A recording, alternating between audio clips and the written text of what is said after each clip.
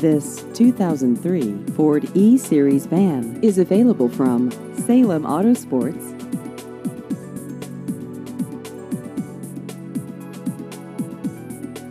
This vehicle has just over 219,000 miles.